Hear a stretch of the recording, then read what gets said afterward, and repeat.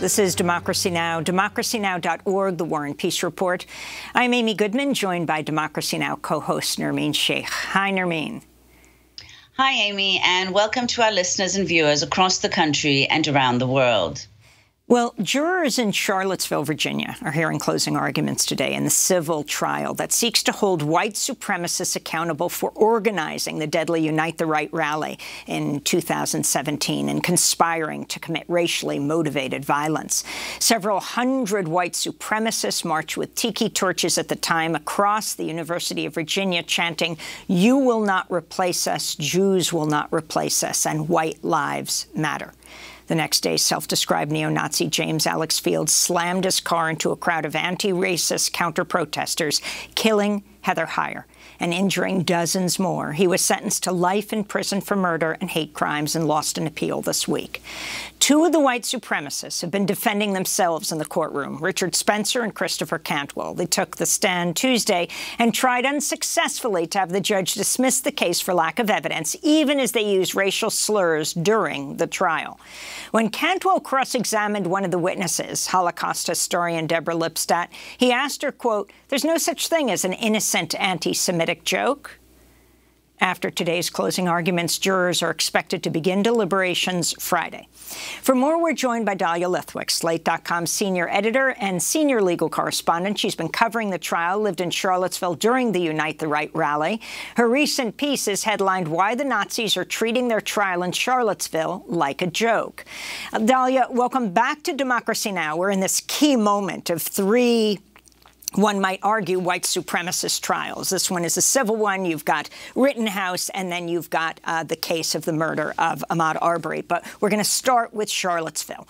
Talk about the uniqueness of this trial, that it's civil, and what has been said, and the fights between the white supremacists who are representing themselves.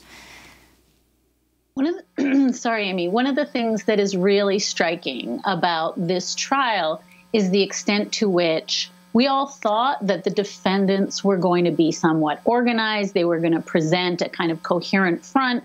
They were going to at least attempt to prove to the world that what they did was innocent. What we've seen instead is just chaos. Uh, the plaintiff's case was airtight, so much documentary evidence, reams and reams of testimony, compelling testimony.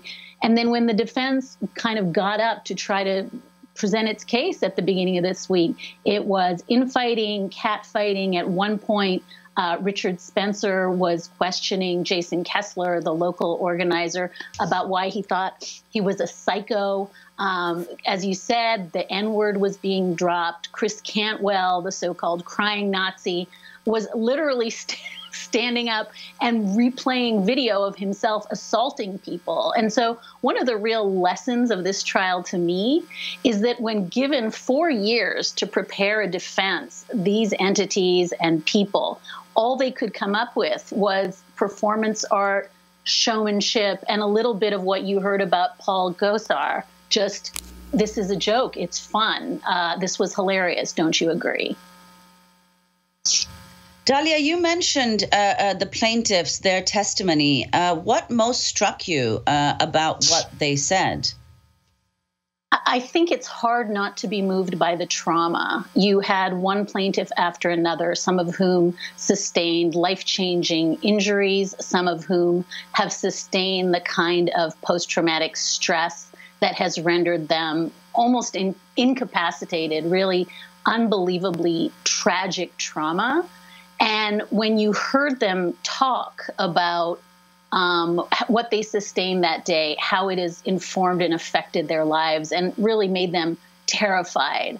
Um, and then to see them being cross examined again by the Chris Cantwells of the world, the Richard Spencers of the world, trying to imply that they were part of some uh, nefarious Antifa plot and that this was a trap laid by anti fascists in order to discredit the white supremacist movement. I think the thing that has struck me most is just the discordance again between the genuine life altering suffering of the plaintiffs and the sense that this is just kind of a comedy tour, that it is neither serious nor sober nor warranting of action on the part of the defendants. Dahlia, could you explain uh, who is uh, Richard Spencer and who is Cantwell?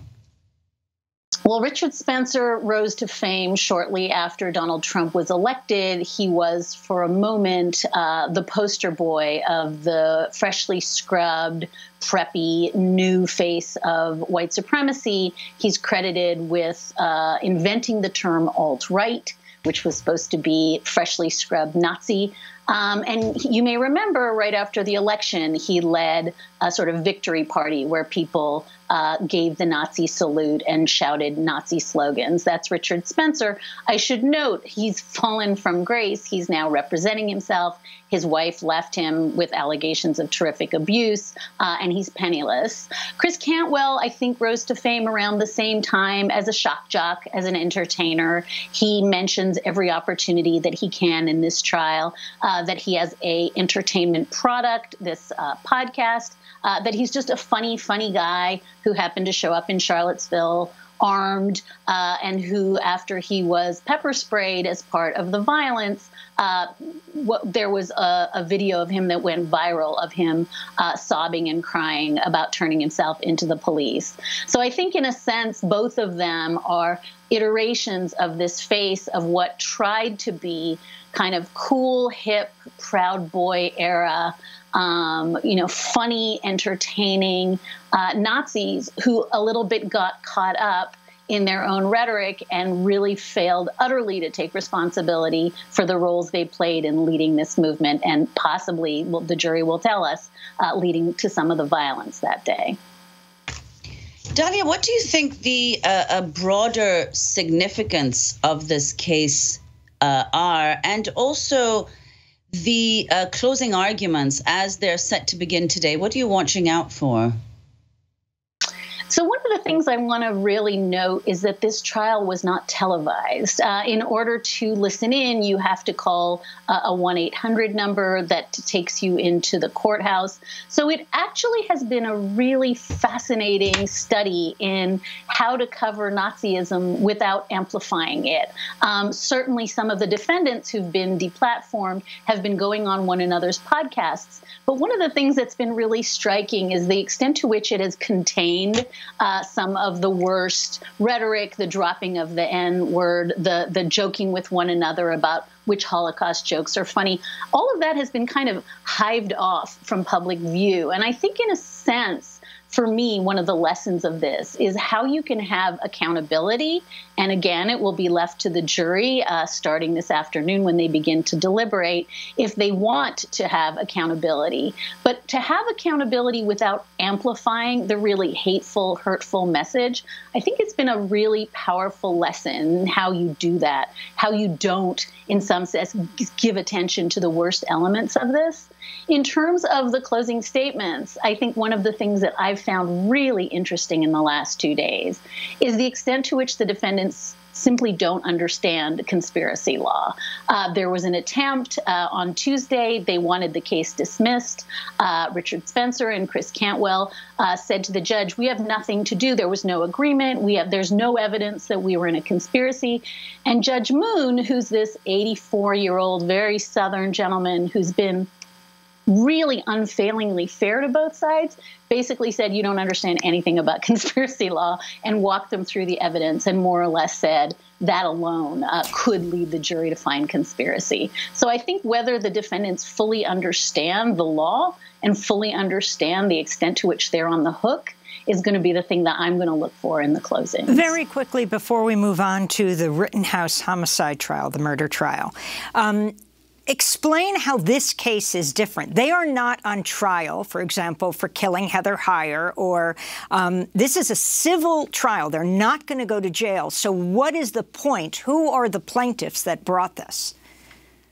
Uh, the plaintiffs were nine people who were injured uh, in the events of August 11th and 12th in Charlottesville. And it's a civil trial in some sense because the Trump Justice Department didn't stand up. And didn't uh, in any way attempt to bring to justice the folks uh, who were involved in organizing and uh, performing this rally. And so I think that the the plaintiffs in this case, and they're led by really masterful attorneys Robbie Kaplan and Karen Dunn and their teams, what they essentially said was, "We will be the stand-in for the DOJ. We will bring a civil rights action that says if you." Based on racial animus, deprive people of their civil rights. This is rooted in the KKK Act 150 year old statute. We will effectuate your rights in a civil trial. I want to ask you about the homicide trial of the white teen gunman Kyle Rittenhouse, where jury deliberations have entered a third day. Judge Bruce Schroeder has yet to rule on two mistrial requests from the defense, but said he may still do so. He said he could rule on this even after a verdict is rendered. So if there was a guilty verdict, he could um, uh, move to vacate it. Uh, Dahlia Lithwick, you are Slate's senior legal correspondent and have another piece out headlined, When Everything is Self-Defense and everyone gets a gun. It seems to me that could apply as much to the Arbery uh, murder trial, where um, Travis McMichael, the son of the former police officer, and his father, and the other uh, men uh, are Bryan are also on trial for murdering, um, uh, in this case, Ahmaud Arbery, and they're contending self-defense. But talk about Rittenhouse and self-defense. I think you made this point in your lead in, uh, Amy, that we have now reached a moment where people are claiming self defense when they bring their own weapon. Uh, in Rittenhouse's case, across state lines, a weapon he was not legally entitled to own, they bring their weapon into a public setting and then they claim self defense because they feel that their weapon was going to be used against them. And you cited the Arbery case for that. But Rittenhouse, too, is laying uh, claim to this idea that he was in danger and entitled to shoot all these people in the span of 120 seconds because they were going to wrest his rifle, his uh, uh, uh, weapon from him, and they were going to kill him with it. And the point I was trying to make, and I think this is really connected to the U.S. Supreme Court hearing oral argument just a few weeks ago in a case that would probably strike down New York's licensing law is that if everybody has a weapon and everybody feels that their weapon can be used against them and then forward a self defense claim, everybody will be reasonable. It is entirely reasonable in a world where everybody is armed and everybody thinks that they're vulnerable because someone else will shoot them with their own gun, that everyone will shoot first. It doesn't seem like a civil society. It seems like the OK Corral to me. And really, in a deep, deep sense, the Rittenhouse jurors have to confront the fact that it may have been perfectly reasonable for him to feel that he was under threat because his own weapon could be used against him. But what does that say about a world in which everyone will use that as a claim of self defense? for being with us, Slate.com senior editor, senior legal correspondent. We will link to all your coverage